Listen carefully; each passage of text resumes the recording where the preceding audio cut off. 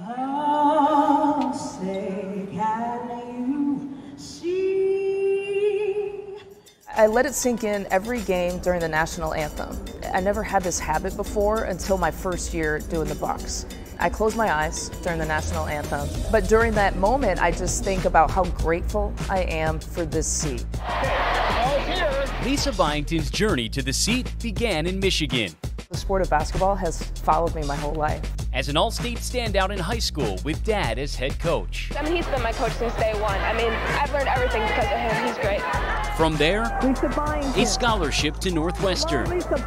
I always thought I was going to be the professional athlete for the rest of my life, and it wasn't until college that it dawned on me that, you know what, Lisa, you probably need to get that real job, and, and you can't play sports for your whole life. MJ was back in the gym today. Sparking a career in broadcasting. Welcome in, I'm Lisa Bynes. One that began in Alpena, Michigan. A lot of things I love about this job. And included stops at regional All right, Matthew Stafford and national networks. Welcome and thank you for making us a part of your Saturday night. Before getting the call to be the next voice of the Milwaukee Bucks. Welcome to Bucks basketball, everyone. The five-time All-Star Marcus Johnson is back. I'm Lisa Byington. Becoming the first female voice of a men's professional sports team.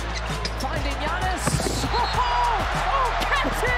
Our captain! I put on the headset, I'm not thinking Lisa Byington, female broadcaster. I'm thinking Bucks broadcaster. What are our storylines? What are we talking about for that night? Right next to the 55. He knows that he's going for 50. He's got 50. This is her perspective. Giannis Antetokounmpo, 50 points. But there's an undeniable sense of pride that comes with her story of perseverance. The fact that there's going to be so many more opportunities for women, that's what I get excited about. Is that if you can do a good enough job in, in this seat with that headset in this role and to open up doors for everybody else, it is it is completely gratifying. Here comes Jrue Holiday, leading the break, calls his own number. All star! I'd say yes, sir. Byington will always be linked to being the first, but her focus is on the next. We've decided to start the Lisa Byington Award. The Big Ten Conference even surprised her with the creation of the Lisa Byington Award. You can you can tell I'm, I'm emotional. Given annually to an aspiring female broadcaster from one of the Big Ten schools. The award itself means so much because all I needed for myself were for either men or women to believe in me and, and open up doors. And, and that's exactly what the Lisa Byington Award is going to do. Before her eyes follow the action. Khris walks into a huge three-point shot.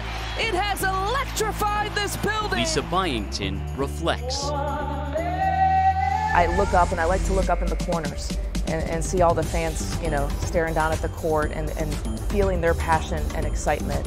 And it gets me going and it, it makes me feel very grateful. The little girl from Michigan, the first All-State girls player in school history, who fell in love with sport, Not gonna miss that.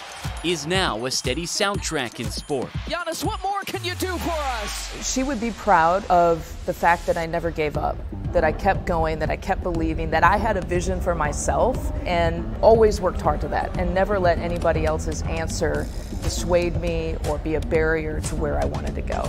Welcome to Bucks basketball. Changing the game Bobby with the cleanup, underdog going to work. and leaving a legacy in Milwaukee and beyond. To get this opportunity is a dream.